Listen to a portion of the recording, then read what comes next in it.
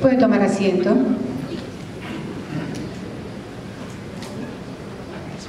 Y hoy les pido, por favor, con disculpas del caso porque estaban de pie, que pueden ponerse de pie para el ingreso de las autoridades de la universidad que van a presidir la mesa de honor.